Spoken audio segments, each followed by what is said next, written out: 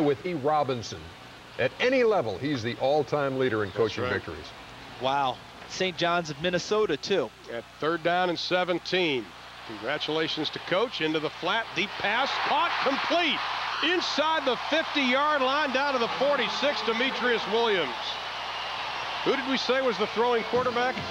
Remember, Jason Fife last year started off with numbers that were better than Joey Harrington's. Watch Demetrius Williams, number six, going to run a, run a, run a sail route to the flag, going towards the sidelines. What a beautiful throw because the coverage was there as we look again from the Allstate goalpost cam. Looked like number 21, Donnie McCleskey, is running underneath the route, but the ball was so perfectly thrown that he couldn't get to it.